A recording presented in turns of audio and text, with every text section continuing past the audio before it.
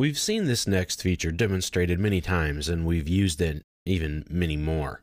And it might be one of the most commonly used features in AutoCAD to aid someone in drafting. I'm talking about the ortho feature. Ortho makes sure that you draw something or move something orthogonally or set at a 90 degree angle. To toggle it on or off, press the F8 key or click right down here on the status bar.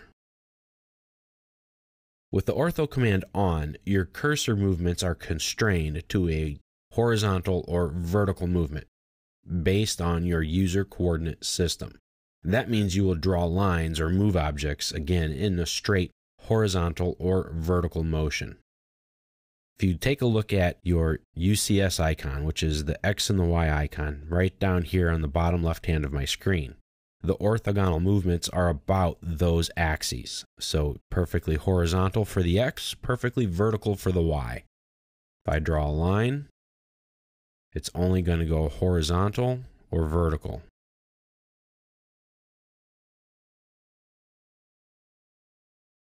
That's it. I can't draw a line at a 45 degree angle unless I type it in. There you go.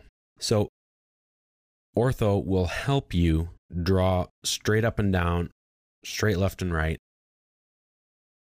or it will help you to only move in those directions. So I can only copy this circle or move this circle horizontally left, right, or vertically up and down.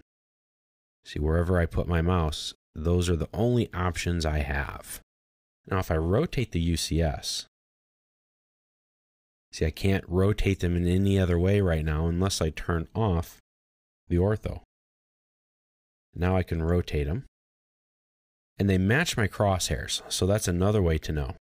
If I turn it back on and I draw lines, it follows my X and Y axes. So it will follow those orthogonal projections of the X and the Y axis. Now, what I'm about to show you, you can't do in AutoCAD LT because it doesn't have 3D functionality. But if I rotate my axes here, or my view, and I turn on ortho, I can also draw in the Z axis. So you have X, Y, and Z. That's the only way you're going to draw. That's what ortho does for you.